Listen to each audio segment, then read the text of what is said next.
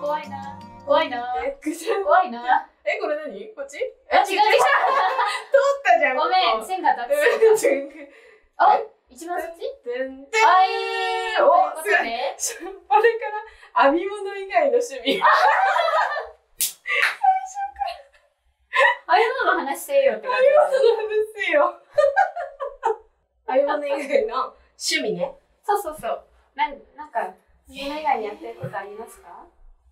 編み物以外にやってることか。んうん。私は、なんだろう。でも結構、あの、えっとね、うん。YouTube の、うんまあそれもな、編み物しながらとかって感じになったりもすあ、るんいいよ、だけど、全然いいよ。うんあ、の、YouTube のさ、うん。中田あっちゃん。の YouTube 大学にめっちゃハマってるから、面白いよね。そう、見てる見それ。で学を深めて、なるほどね。知識を得てるわけね。そう、あの、政治うん。も全然わかんなかったから、政治とか歴史とか、うん。あとはその自己啓発的なやつとかさ、最近で言うと5時間快眠法みたいなやつめっちゃハマって、そうそうそう。ゆかちゃんも見たって言ってたけど。私も見た。そう見た？私いつも見てんだよ。あ本当？あでもそう先生とか絶対ねいいよ昔、ね。そう、あの、そうそう、専門外の社会を教える機会があったから、あの、めっちゃ歴史のやつ見て、あーあれを真似してやってた。ええー、いや絶対いいよね。こんな身振り手振りやってゆうちゃんが演説してた、50分。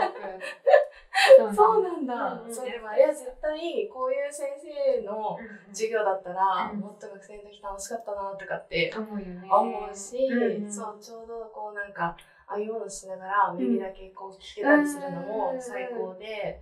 そうだからなんかサブの趣味っていうとやっぱ YouTube とかあとはまあねインスタラジオあインスタライブか。うん。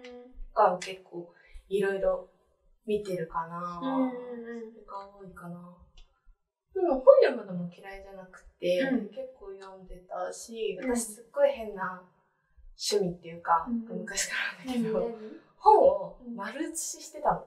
あー昔からへえ、書いてる内容を書くの。そへう。なんかね、読むだけじゃインプットされなくて。うんうんうん。で、なんか、あ書いたらいいかも。で、書くのが好きだったのよ、昔から。うん昔から子供の頃から、なんかうん遊ぶっていうよりも、うん。ノートとペンをもらって、うんうん。字が書けない時は丸抜をずっと書いてて。白黒はっきりした性格みたいな。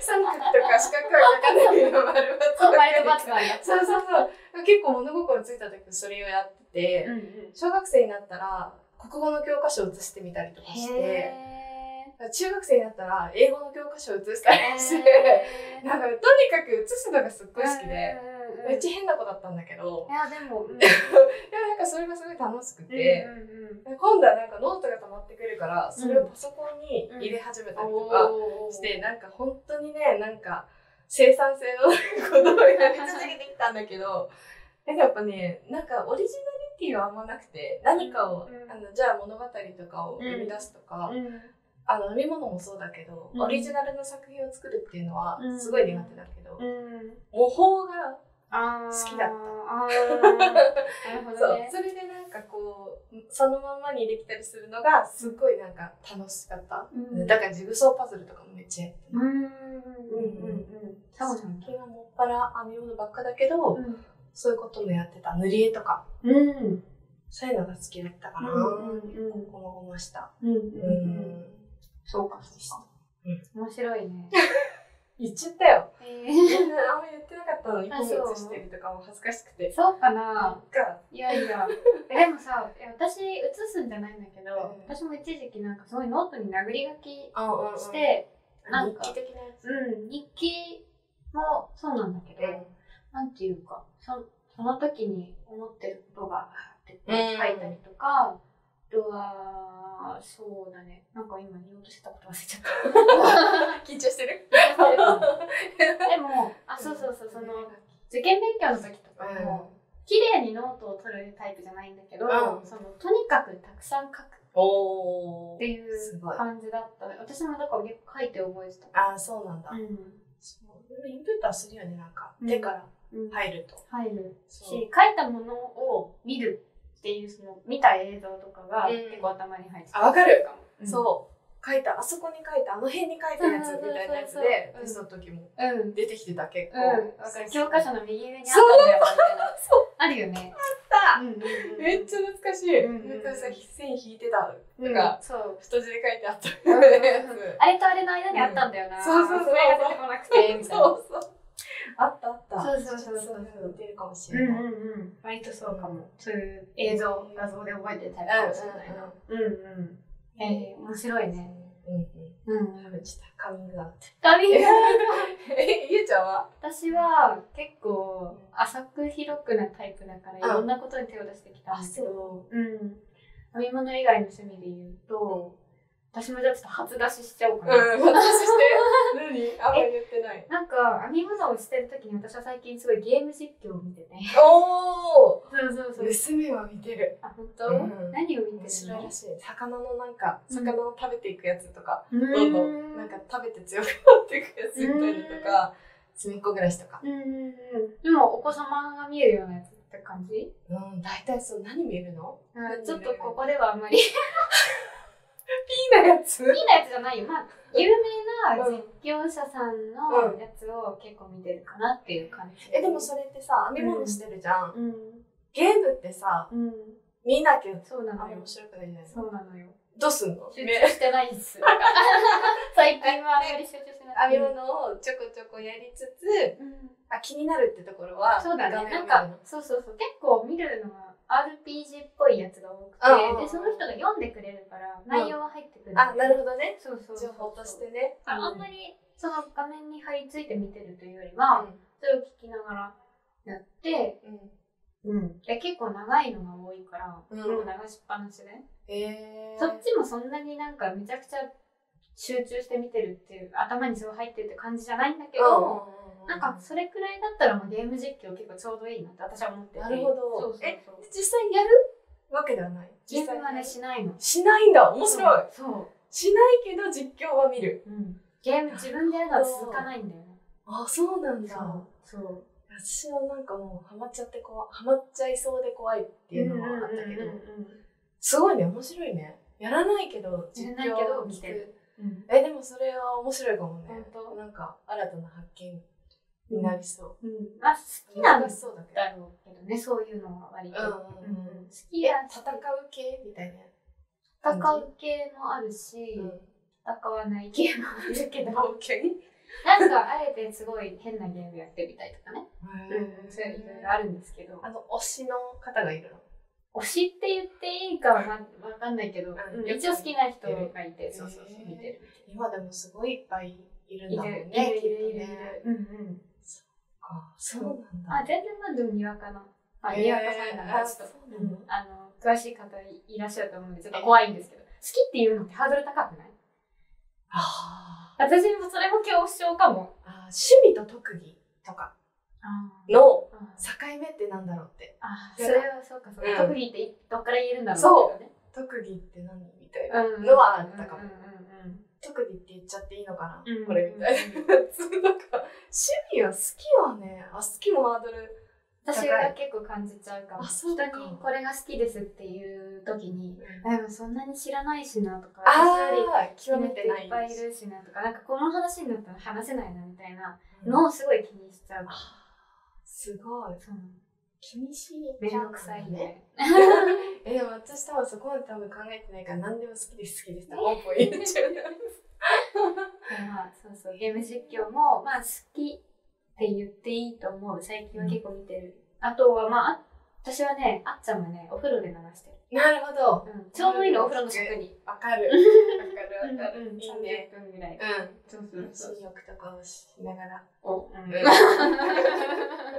あいいそうそうそう。で、見たりするし、まあ、YouTube だね、よく見るのと、うん。あとは、まあバンド？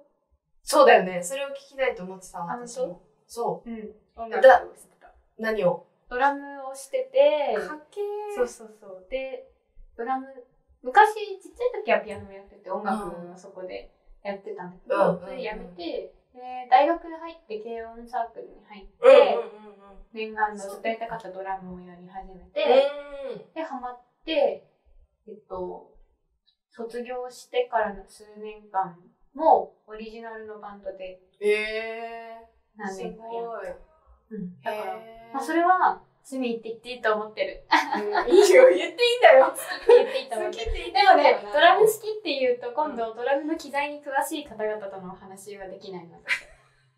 いいよ、知ドラムをて楽しく叩くのが好きですそうだよ。それでいいんだよ。それでいいの。だから、はい編み物好き、趣味だけど、うん。なんか水のこととかうん、芸のこととか、うん道具のこととかうん知らなくてもいいんだよ、別にい。や、そうだよね。私もだから、そうそう。私もそういうタイプだから、そういう人にこう、うん広げていきたいと思って、今回このコンセプト、YouTube のコンセプトとかも考えてるから、うん、うん、そう、いいんだよ。別に詳しくなくても好きって言っていいの。うん。好きです。そういうはい世界です。はい、優しい。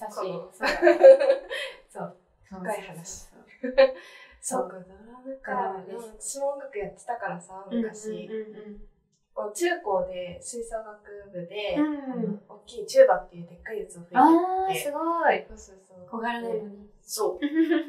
ちっちゃいのにね、大きいやつを吹いてて、大学に入ってサックスを習って、あピアノもちっちゃい頃ちょっとやってたんだけど、うんちょっと大学ぐらいまでやってたんだけど、うんうんピアノはそんななんか続かなくて、うんサックス習って、うん同時進行でボイトレを習って、うんそそのボイトレやってたあの習い事？うん。の,、あので各なんだ楽器のうん。人たちと集まって、うんうんあるよねなんだろうあのバンドみたいなの作って、うんそれでちょっとだけやってたかな、大学えコピーとかしてたの？コピーだったコピーだった。何やるの？世代が如実に出るけどあそうだね。あれあれだったんだよ。ちょうどね 7, 7の時代で、はいはいはいはいはい。ラスカイを歌ったよ。すごい。超恥ずかしいね。黒歴史。今今もう見れない聞けない、うんあそんなもんだよね。そう。うん。吹奏楽はね、まあ、うん全然、うん。あよまだ今でも聴けるけど、うんうんうん。ちょっとバンドはな。ちょっともうこ恥ずかしいな そっかそっかちょっとそうだね、うんうん。なんか、まあ、音楽がすごい好きだった、うんうんうん。まあ今はもうなんか縁遠い感じだけど。まあね、うん。なんかばそれこそバンドとかはやっぱさ人とやんないといけないから、そうだね。なかなかこう遠くなっていっちゃうというか、うんうんうん合わせたりするのも大変だしそれまでの練習も必要だし。そうだね。でコロナになっちゃったうんうんしね、うんうん。そうなんだよね。もう全然だわわかんない、うん。もう全然何も活動してないの、うんとそれ自体はうそのバンド自体はもうしてなくて、うん。ただえっと今回その東京に来た用事っていうのは、大学時代のサークル関係で、またちょっと集まってライブしよう冬ぐらいにみたいな。いいねすごい。それのちょっっと顔合わせでえー、そうなの？来たんだよね。わあ楽しいじゃん。そうなの。久しぶり。にちゃんドラム絶対かっこいいな。いや見てみたい。ーいやーいやいやなんかね背が低いからね立ってても座ってても同じ高さなの。見えないの。もうドラムで書かれてるの。ちょっと見えてる。子供が叩いてる。そうなのそうよくあるよねわかる。わかるあれと同じ感じになっちゃう。身長ね二人ともほぼ同じぐらいだったね、うん目線が一緒だった。そう。安心しました。そんな感じ感じでよし。じゃあ次次のトークテーマいきましょう。どうしようかねじゃあ右端に行く？はい。はい。するね。ててててておー。ててドドーン。毎日のルーティン。おおー来ました。また編み物で。まあでも編み物も関係あるか。あ今のもそうだね。編み物も関係ある増ねえて。るミッターさんだからそうねそうそう。さて。さて毎どうぞ日ゆうさん。日々の生活生活の流れ流れですですかね。ねうん。興味ある興味ある。うちはね非常にルーティン生活をしてて。おー決まってる。決まってるね、うんうんでうちはあのうちの旦那さんもフリーランスで家で曲を作ってるから、うん二うん。2人とも家で仕事をしてるんだけど、うん。ただ朝起きてうん。夜寝ようっていうのはきもう決めてて、時間も決めてる。大体。うんでやっぱそのパフォーマンスが結構に影響するやっぱりそのするよねうん睡眠が足りないと。うん。だから、あんまりこう無理をしないうん。生活をしていて、うん。まず朝はあんま早くなくて、うん7時半うん。とかに起きてます。うん。で、起きて、まあ、ゴミ出しなどして、うん。で、朝はいつも8時からラビットをつけます。ラビットって何？えっとね、TBS かなの朝情報番組。あ朝の情報番組ね。情報、あんまり情報得られない番組なんですけど、キリンの川島さんが仕切ってて、芸人さんがいっぱい出て。お笑い好きなので、それを見て。ああ、なるほど。そうそうそう。うんまあ、必要なニュースは、こっち、あの、携帯とか、うんネットとかで得られるから、うんうんうん。朝からあんまりいいかなと思って、そういうなんか軽く見られるのをつけて。で、それを見ながら、ラジオ体操を二人でします。おー、いいそ。いうい毎朝してる。ラジオ体操第一だけしてる。第一ね。うんラジオ体操最強説あるからね。うんうんうんいいなうん。してま。取り入れたい。いいよ。でもなんか尺的にもね、なんか、いいよねすぐ終わるし、いいよね。意外とこう曲げ伸ばしあるし、うんいいよ。いい。ラジオ体操します。うん。で、まあそっから着替え、そう、着替えは絶対ちゃんとするようにしてて、着替えと、あと、コーヒーを入れたり、うん。コーヒーを入れてもらったりが正しいんだけど、してもらってる。あ入れてもらってる。そうそうそう入れてもらってる。人に入れてもらうコーヒーは美味しいよ。そう。やってもらって、で、身支度をして、お仕事に入ると。うん。で、結構私は午前中の方がうん仕事がはかどるから、うん。午前中にパッとやっちゃって、うん。午後、お昼食べた後の午後に確認したりとか、あとはまあその、みんなに確認出しのためにこう体裁を整える、うんうんうん YouTube の概要欄作ったりとか、うんそういうのを午後に回したりしてるかな。うそうそうそう。で、余った時間で編んだり。ん。うん。朝から編む時もあるけど、朝から編む時はあんまり今日は仕事をしないぞっていう日。なるほど。うんうんうんうん。って感じかな。で、編むのの時はいろいろ聞けるんだけど、動画編集の時って基本もうその動画の方のイヤホンをしてるから、うんあんまり何、ながらっていうのも難しいうんかうん。ら、うん、あんまりながらはしてなくてもそこにガッと集中してうん。3時間ぐらいやって。うんうんうん。でも結構今んとこはそれで回うん。ってる。夕方ぐらいまでそんな感じで過ごす？夕方ぐらいまではそんな感じで過ごす。ん。で、5時過ぎぐらいにご飯を作りに下に降りる。うん。で、ご飯を作る。うん。6時半ぐらいに旦那さんが降りてくる。うん。で、ご飯食べる。お風呂入る。で、お風呂上がったらちょっとだらっとして YouTube を見たりする。うん。で、11時に寝る。すごい。めっちゃルーティン化。え、それはさ、あの、ほら、フリーランスだからさ、休みってこうないわけじゃん。ないね。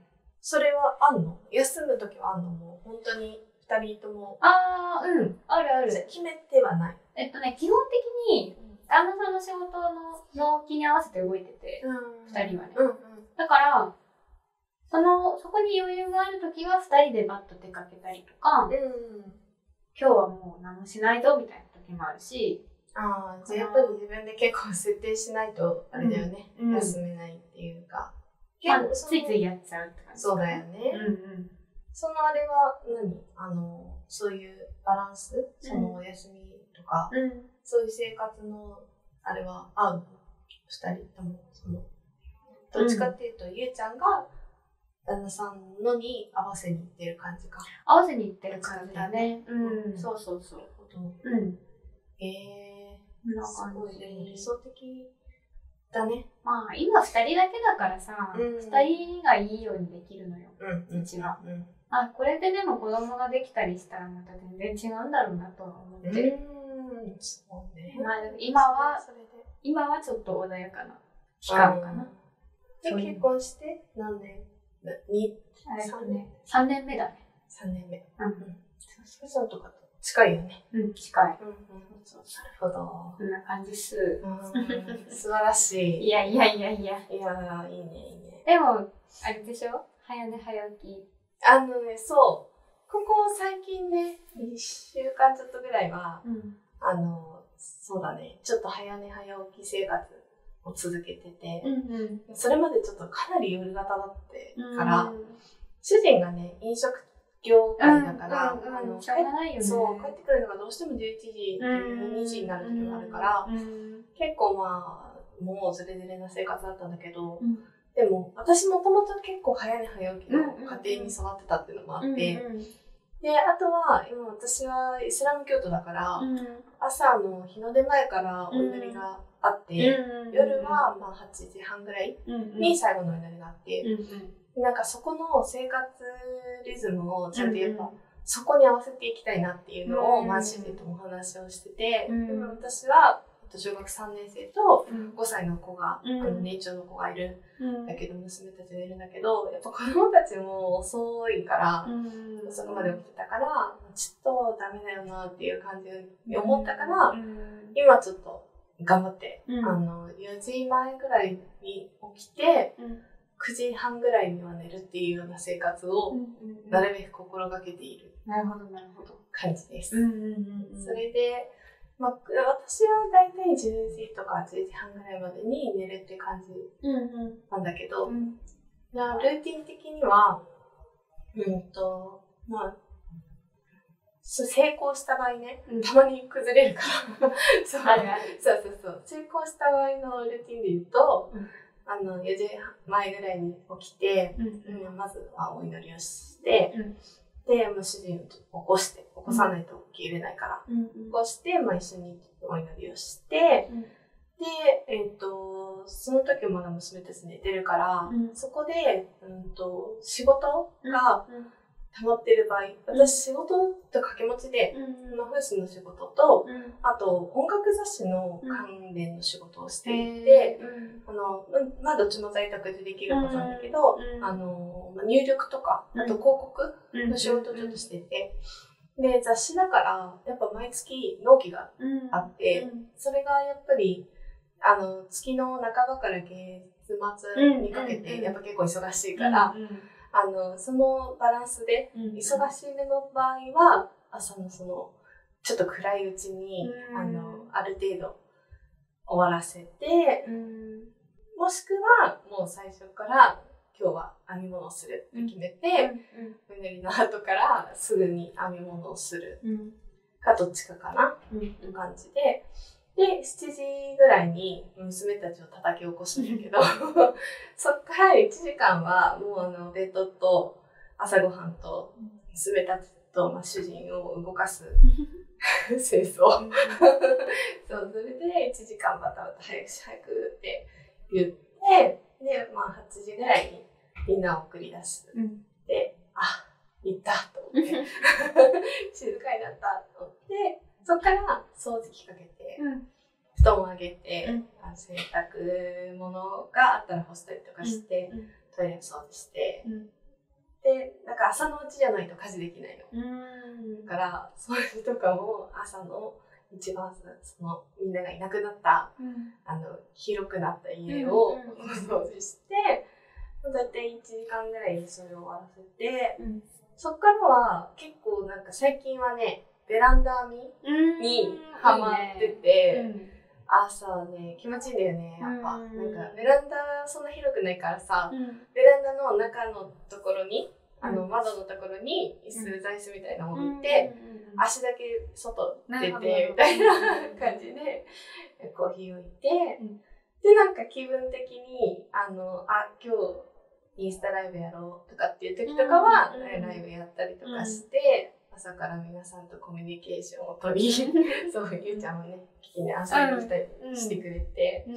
そうその時間めっちゃ幸せな時間で、うん。それで昼ぐらいまで、まあそんな感じで過ごすかな。で一人の時はなんか、余余り物とかでお昼を食べ、それでまた、うんと、娘たちはちょっと電車で幼稚園と小学校行ってるから、午後2時ぐらいには出なきゃいけないから、でそこまでなんか、YouTube 見ながらとか、まあ、ほぼほぼ編み物してるかな。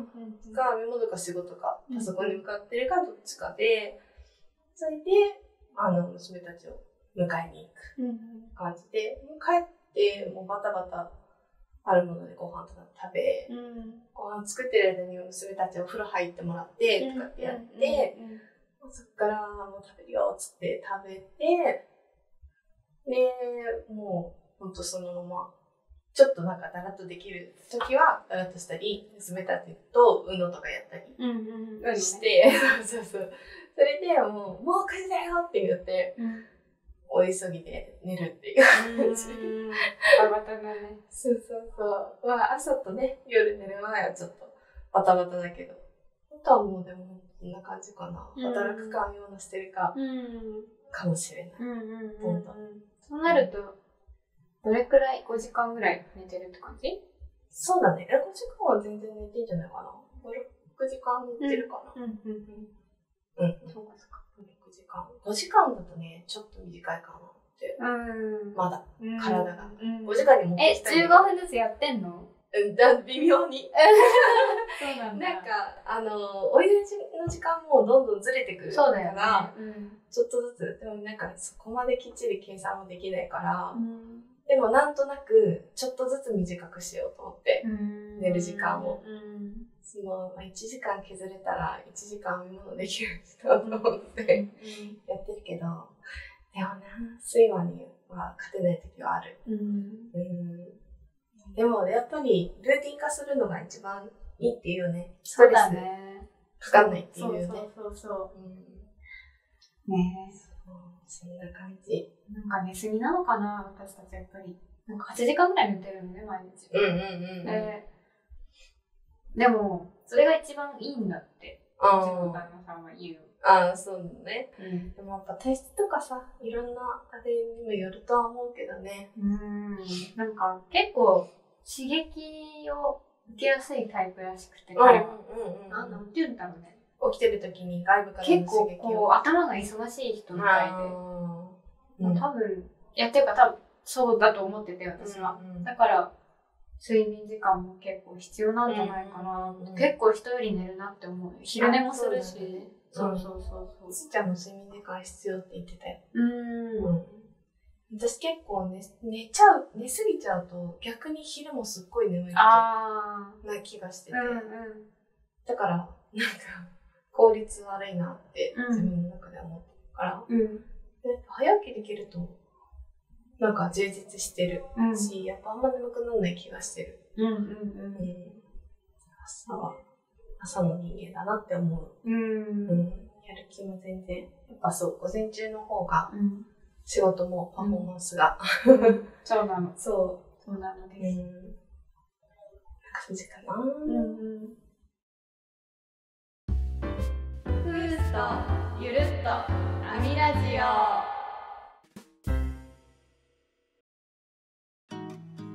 はい、お知らせです。はい。手編みのお店フースでは、ウールニッティングのゆかこさん、ゆかちゃんがセレクトしている、とまあ、メーカーの糸と、あとはフースファクトリーってあの工場の直接工場から仕入れてる糸、あとは、えっと、ユールニッティングの作品が編めるキットとか、えっと、作家さん、ユールニッティング以外の他の作家さんのとのコラボのキットなど、い。ろいろね、はい可愛いものをセレクトして、あの販売をはい、しています。そうなんです。ぜひ皆さん概要欄にはい。リンクをはい貼っておきますので、はい。ぜひぜひ。ぜひ なんか毎回貼ってんだけどね。うんうんチェックしてみてくださ。はいい、ぜひぜひ見てください。はい。あともう一つ、えっと、ここのフースの YouTube チャンネルでは、えー毎週木曜日の20時に通常動画、まあ大体10分くらいかな、の動画と、えっと、毎週土曜日の20時にはショートの方で動画を出してます。そっちだと、なんかこう、なんだろう、作ったものをちょちょろっと紹介していたりとか、あとはまあ、それ以外のちょっとしたコンテンツをうん。1分以内でね、ショートなんでね。そうだね。そうそうくまじろかとかね。熊次郎のコンテンツなどを やってます。なので、えーまあ、見ていただきたいっていうのと、まあ、チャンネルのコンセプトとしてやっぱりその編み物が好きだったら誰でも来ていいよウェルカムだよっていう楽しいチャンネルにしていく予定なので、まあ、皆さんもぜひ編み友のお家に遊びに来るような感覚でチェックをしてみてください。はい。で、まあ、えーチャンネル登録、高評価、コメントの方などもよろしくお願いいたします。お願いしお願ますいします。はい。で、あと、この番組では皆様からのお便りを大募集しています。えー編み物に関するお悩み、質問、あーまた、あの、編み物とは関係ない話題でも大丈夫です。全然、初っ端から関係ない話しましたね、今回。はい すべては阿弥陀仏のねあ、おっしゃる通り運命のはい、やっておりましたけども。はい。